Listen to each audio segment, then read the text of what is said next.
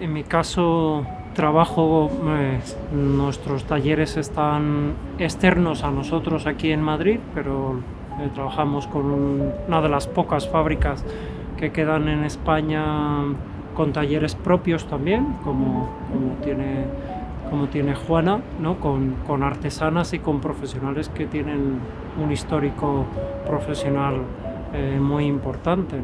Eh, en mi caso, pues nos gusta trabajar mucho la artesanía, hacer partícipe a las mujeres del taller también, combinar con ellas también el, argumentar, ¿no? El, pues mira, Juana, por aquí queda mejor.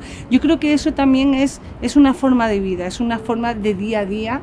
Cuando no sabes el nombre de la persona que te está haciendo algo, cuando tú no puedes ir a mimarlo, no puedes cuidarlo, no sabes lo que tienes entre las manos, se pierde la esencia. Y sobre todo creo que se pierde algo muy importante, que que la moda española ha sido siempre, es honesta, es honestidad. Pero es verdad que los artesanos lo que deberían de concienciarse es preparar a gente para que esas profesiones no se pierdan.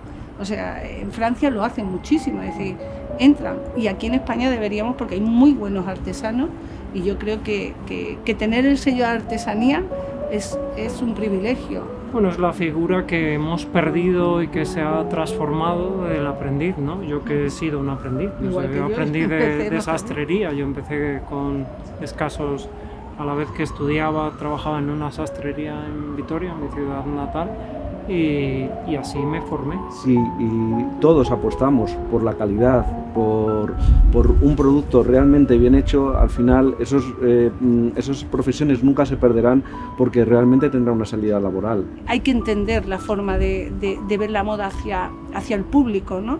Luego está la señora que, que, que valora que la chaqueta tiene una calidad buena, que tiene un tejido bueno, quiero que me dure varias temporadas, que no es la ropa de usar y tirar, que es la ropa que tiene historia, que tiene, que tiene vida propia.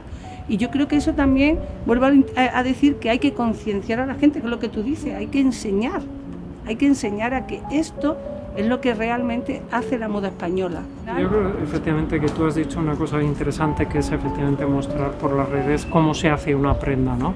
Porque eso también educa y, y, forma, ¿no? Esa magia que nosotros creamos, esa relación que se crea con los talleres, con los trabajadores, eso es alma y ese alma al final yo creo que se aprecia en nuestros... Se ve en la ropa. Madrid Moda nos va a ayudar a reivindicar que, que, la moda española estamos aquí viva, no hemos muerto. Estamos aquí, estamos luchando. Madrid en Moda nos va a ayudar muchísimo.